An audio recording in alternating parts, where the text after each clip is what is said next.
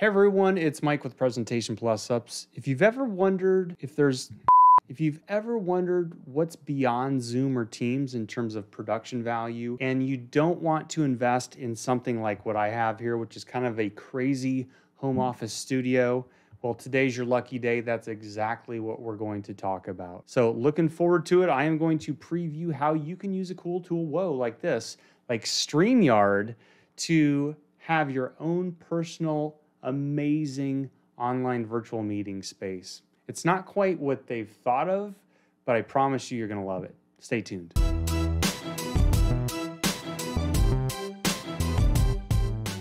Okay, we're going to talk about how you can use StreamYard, which is a live streaming online production tool, as a powerhouse media generator. And I'm talking about holding your own meetings with 10 or less individuals. I'm talking about recording on demand content and having that ability to edit it and really control the look and feel. And I'm also talking about the ability to have a really turnkey live streaming solution. So if you haven't checked out tools like StreamYard, I would encourage you to at least do a little Googling on it. There's several different online video production streaming tools out there, but this is one that I personally use. I like it. I even use it for podcasting. In terms of presentation plus ups, I think this is a legit feature. So I will say this they have everything from a free version that you can absolutely just test out to ones that you can brand up for your own. So what I'm going to do here is I'm going to make myself small and make the StreamYard tool big and just show you how it works so you can get a feel of it, okay? So let's take a peek here. The first thing is once you have signed up and set up your account, when you log into StreamYard, uh, it will just remember you and bring you up here. Okay, so you can see that you can set up broadcast, you can look at previous videos. You can set up your streaming destinations. You can even add new members if you have a higher end version and you can have different members to your team. So the first thing I'm going to do is just create a broadcast. So whenever let's say you have a meeting. So if you were in Zoom or Teams, you'd set up a meeting. Here you'd set up a broadcast, okay? And you can even set up one with pre-recorded video, but I'm going to show you how let's just set up a new broadcast and show you how tools work here. So if I wanted to do a live stream, I could, but if you want to use this as a bit of a Swiss Army knife for media creation, or like I said, live live video production to make a better meeting, um, I would say just hit record only, okay? And I'm just going to name this demo, okay? I'm just making a demo, creating broadcast. Now, before you step into your vir virtual studio, and I want you to think of this kind of like this, that you're truly stepping in to your virtual studio, except StreamYard has built this right into the tool. Okay. So I am doing a little, you're going to get a weird little reflection because I am using OBS and my virtual camera to cut this. So I'm using another tool to cut this. But what I want you to do is just notice that we can hit enter studio here. Okay.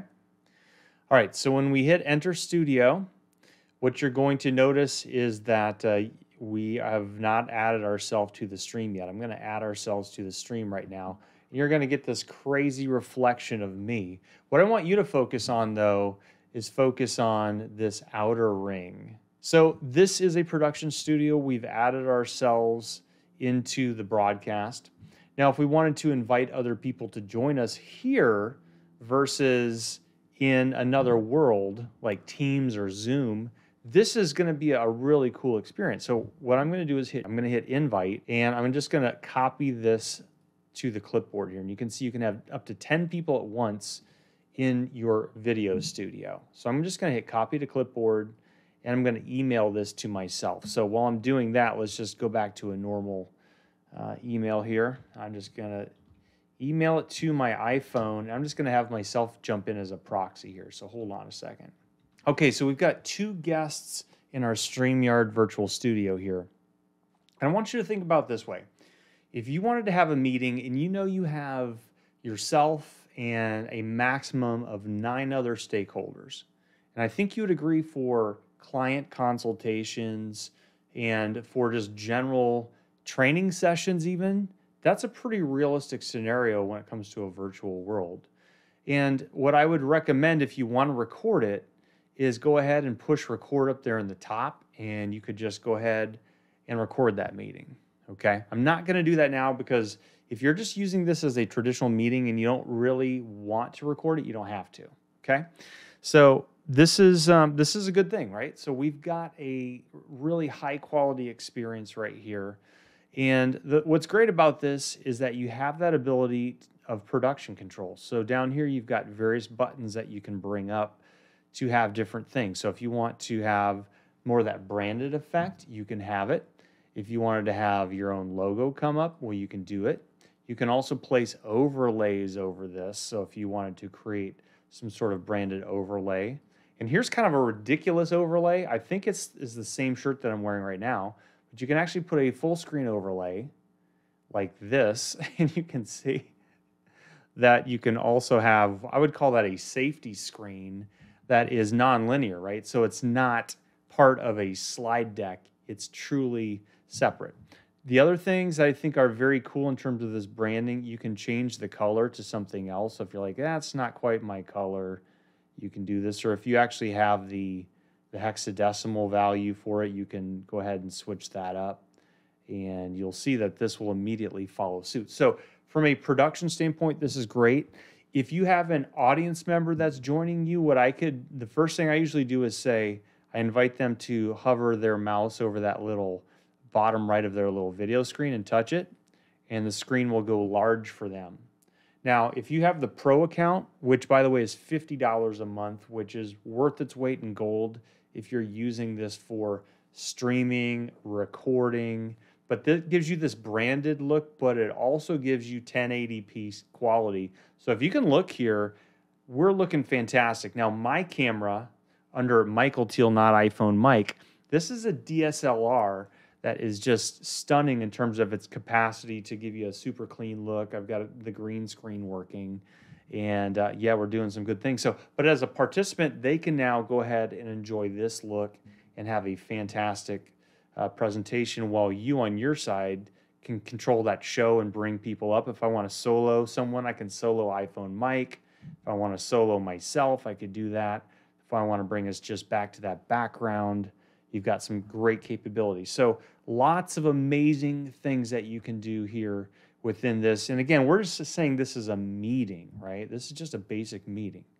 Now, the other things that we can do in addition to changing those backgrounds to various things, and you can just upload backgrounds. So you could quite honestly just use PowerPoint and export a cool background they've created in PowerPoint as a PNG file and bring it in, or you have InDesign and want to make things at 1080p, or you use Canva, that kind of thing. You can go ahead and do a lot of different um, benefits and, and features in here. But just in terms of a studio and creating that experience, I mean, for me, some of the pain points for me when it comes to running a meeting in Zoom or Teams is the fact that I don't have much production control unless I have, like I've kind of shown here before, and I'll just go ahead and back it up, right? If you have a big fancy studio, yeah, you can do some things, but if you don't have all these tools and it's just you and your camera, well, you can see right here, I'm giving you that ability already through StreamYard's brilliant system to manage that end product that everyone sees.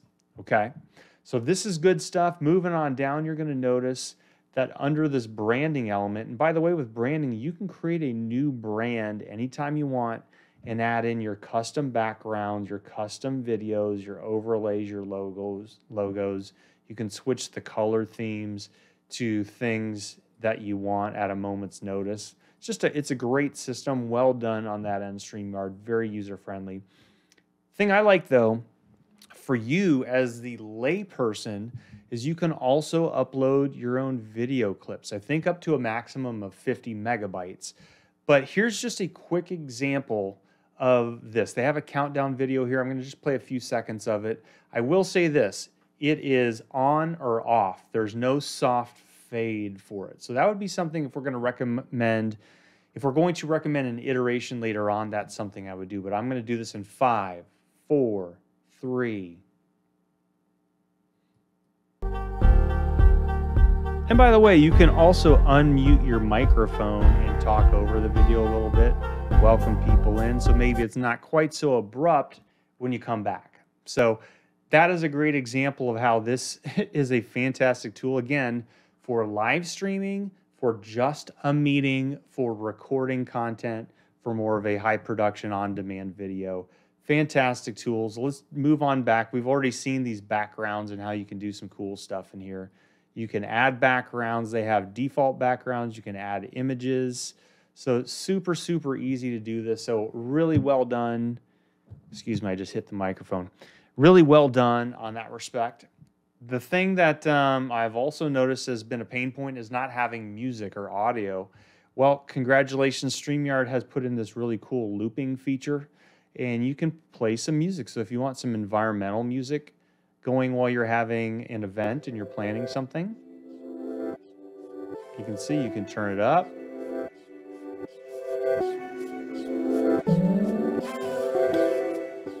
I'm just going to kick this down around 14, just give us a little bit of environment. Let's put back my presentation plus ups. And by the way, if you haven't checked out my channel before, please go to Pleasant, please go to Presentation Plus Ups. Check us out, like, subscribe. I'm not quite at 400 subscribers. I'd love to get it over that thousand, love to get it up to 2 million, but step one is just keeping on giving you some cool content. So hopefully you're enjoying this one. So if you do, please like, subscribe. It's it's such a small thing for you to hit that subscribe button, that notification button. Means the world to me though. And please post your comments below. But hopefully you can see here, this is solving a lot of the problems for a typical meeting, video, audio, control of what people are seeing. And we haven't even gotten to the basic element of screen share yet. So it's time to screen share. Now, here's what's great about this system. I'm going to hit share. I am going to either choose some uploaded content that I've already uploaded. I'm not going to do that because if you upload a PowerPoint, it's going to strip out your fonts unless they're super generic. So I'd recommend if you're going to do slides this way, I would probably grab a PDF or uh, a Google slide or something like that. So I'm going to skip that one, but it's a great thing if you have a team. What I'm going to do is just hit share screen, okay? So share screen, let me pick one of my screens here. If you want to share your system audio, you can. I don't need to because I already have this already set up here today. So, but here's the deal. We are sharing our screen.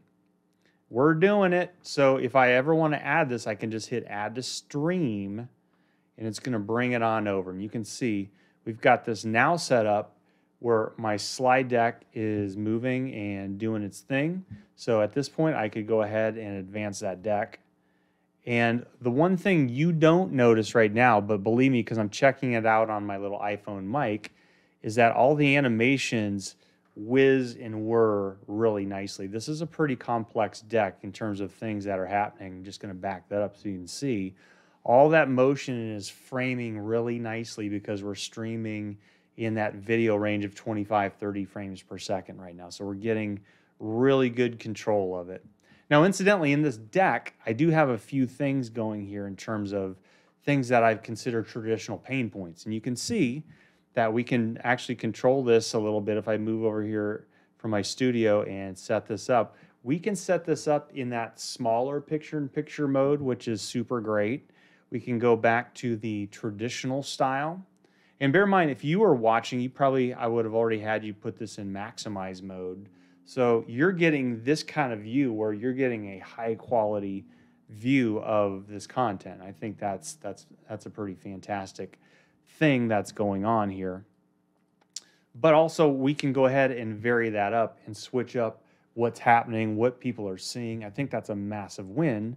Now here's another thing I'm going to show you is you can also set it up where you are inside this picture in picture layout right here. And if I wanted to turn off somebody in the crowd that I don't want people to see, I could go ahead and just remove them from the picture. They can hear us, they wouldn't be part of the conversation right now, but uh, you can go ahead and, and, and have that. You could just take them off and then you could add them back to that stream. At that point, their microphone is going again. So lots of great ways that you can have people be part of this presentation. You're going to notice if I go back to that slide deck, it's just working. And uh, it's kind of cool in a way that people are in the slide deck they're in the computer, right? And anytime you want to go away from it go back to just having a little variety, you can step out. You haven't had to end that screen share yet. You want to step back into it, boom, you're back into it. So I think just from a meeting tool, this is an amazing tool. StreamYard has so much potential for you in terms of that control, all right? So those are some massive wins. And again, if you just wanted to vary it up and at times just go to pure screen share, you can do that. You're in what they call cinema layout. And yeah, that is that content is just looking great. It looks 1080p for everyone. Okay. It's just it's just a massive, massive feature in terms of the control and what we have and what we have the capability to do in StreamYard. So this is something that I'm a major fan of. Again, if you want to put your logo up anytime, you can do that. And um, yeah, we're not even done yet. Okay. We are just in the branding section. Okay. So again, depending on different clients or projects, you can create different brand universities in here, or think of these as little classrooms. So I'm going to set up a GP Strategies, and you're going to notice. So GP Strategies is my mm-hmm. full-time employer. They're awesome. We're a workforce transformation company. And you will notice that you can set this up and brand this environment, which, which has your own content. And then at a moment's notice, you can switch to a different environment. So if you're going from one meeting to another, you're a consultant with multiple clients, you can have that set up. Okay? So lots of good things in the brand section. Incidentally, if you want to have a private chat, you can go ahead and have a private chat with your guests if you're not using this as a traditional meeting tool, you can do that. But I want to get into the banners, okay? So in the banner section, what's great here is you could actually create a whole set of topics and not even have a PowerPoint, just have something come up here. And if you go, that's not quite the way I want it to look, maybe you want to have that banner look a little more like this. And again, if that color is not quite to your taste, you can switch that banner to a different color and yeah, you're off to the races. So you can have a branded experience right there where you just have more of a more of a production level quality, right? So if you want everyone to go full screen but still have that banner over the names, I think that's amazing in terms of what you can do. I also like the fact that you can have banners be be little tickers and you can turn off banners at a moment's notice and and have those going. So you can see this could be a very cool tool for you in terms of your ability to run a very cool meeting, let alone a stream, let alone anything else. This has some fantastic tools. Now, to create a banner, it's as easy as this. You hit create a banner and you put in some information. Hi, I'm a banner, right? You want it to scroll across the bottom or not? I don't want it to. I want it to be this. And what I'm going to do is just put that one up there for us. And we've got it set. If I want to hide one, I can hide it. Okay. Super easy. One of my tips and strategies would be if you have a client coming in or a guest, put up a banner for them. Welcome, Diane. We're so glad that you're here today. Uh, can't wait to, to talk about it. We've got a few things we want to talk about today. We were going to talk about presentation skills. So let's go ahead and start that out here. At this point, you could jump over to your PowerPoint deck um, pop through a few things, have Diane join you on this little mission if you want her over here, or change that look up and have you both down here at the bottom. And you can see people are part of that presentation. I think these are massive wins. Okay, so I think we've stepped through a few things in terms of the features and benefits of this tool. And again, the context we're looking at right now is this is truly for more of your traditional meeting, a way to go beyond Zoom or Teams or WebEx when you have a limited field audience. Okay? So you might go, okay, uh, what if I have 30 people or 50 people? And um, yeah, I'd like to have some interaction with them. So my question to you would be this, and I'm going to turn off my iPhone Mike here right now. We're going to remove him from this little bit here. And I'm just going to say that in that case, what I would recommend is that you consider a couple things. Number one, instead of saying record, you could go ahead and stream this out to YouTube or to a custom branded real time media protocol, private, covert, um, let's say an enterprise level stream. You could stream this to your own real time media player and stream it onto a website. So if you have a password protected website, then you could stream this to a million people and invite them to use the comments feature. Okay, so if we had some comments set up to this, all you'd have to do is add a destination. So if this was set up to my YouTube channel, people could post comments and then you'd see those comments show up here live on screen. It would actually show my YouTube uh, brand right here and then have the comments. And the cool thing is, as the producer, you see those show up in real time. All right. So, and you can take them on and off whenever you want. It's just so powerful in terms of that ability to have content and have that ability to control what it looks and feels like. So, those are some basic reasons that I would highly recommend that you check out StreamYard. It's a fantastic tool. And um, at this point, and when you're done with the meeting, I will say this you'd want to say bye bye to everyone. If you've started recording, I would say stop recording. This is not really a procedural video, it's super easy on how to do that. But then, um, yeah, you can just hit leave studio. And once you've left that studio, you're going to notice that you can still go in and um, you have that ability to see any of your upcoming broadcasts. Now, incidentally, this demo one, because I was not recording, is going to stay here. Okay, so hopefully you can see there's a lot of benefits to using StreamYard to just go beyond a typical Zoom or Teams meeting if you have 10 people or less. And that means you and nine others you are set up for a nice, cool, collaborative in person meeting. Now, as a side bonus, you can use all the tools that StreamYard's actually meant to be designed for, which would be, of course, live streaming. Um, and let me just show you a couple things there in terms of what's set up. So I'll go ahead and make that screen large again. And what I want you to notice if you're creating a broadcast, it's super simple. Hit new broadcast. And I'm just going to set this one up to live stream to my Mike Thiel and um, I'm just going to put in here sample live stream. Okay.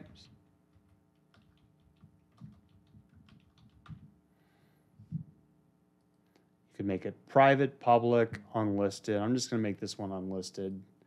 And you can schedule it for later, or let's just create a broadcast. So I'm going to create it right now.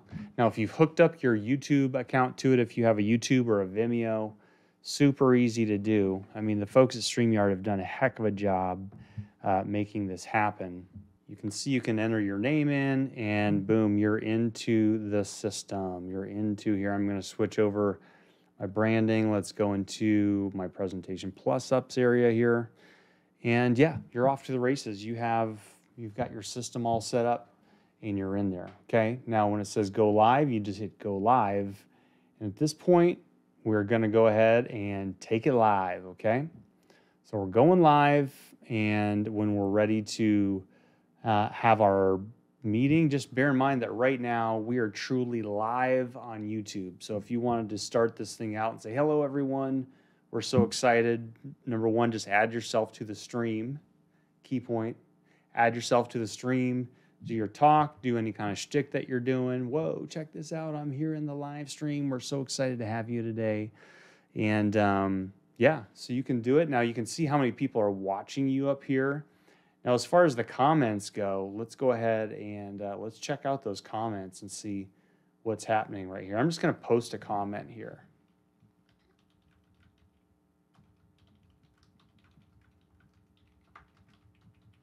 Oh, very nice comment. Appreciate that.